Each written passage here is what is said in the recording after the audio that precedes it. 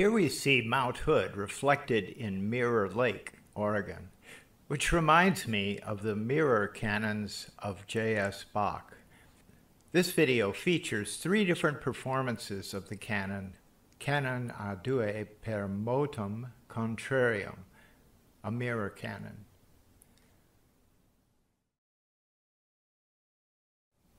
The middle voice, violin 2, plays the bottom part of the original as written. The third voice plays the bottom part in mirror image in contrary motion.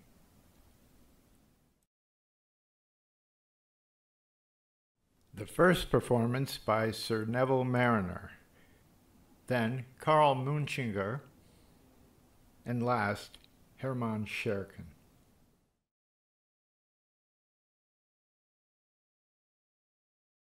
The first performance by the Academy of St. Martin in the Fields under Sir Neville Marriner.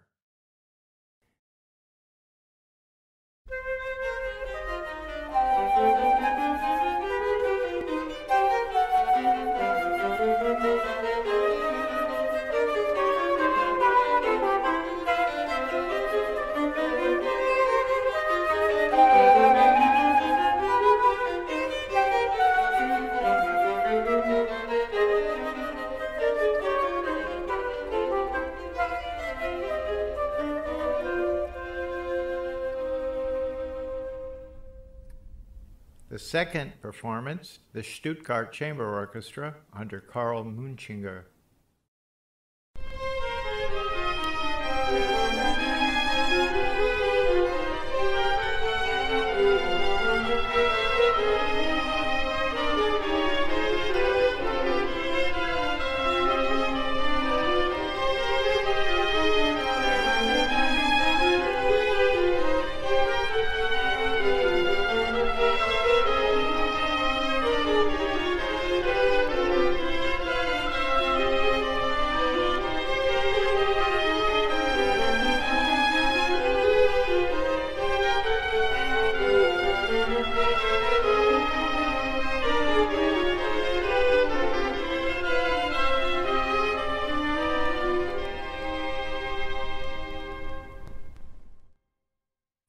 and the third performance, European String Quartet and Vienna Symphony Wind Players under Hermann Scherchen.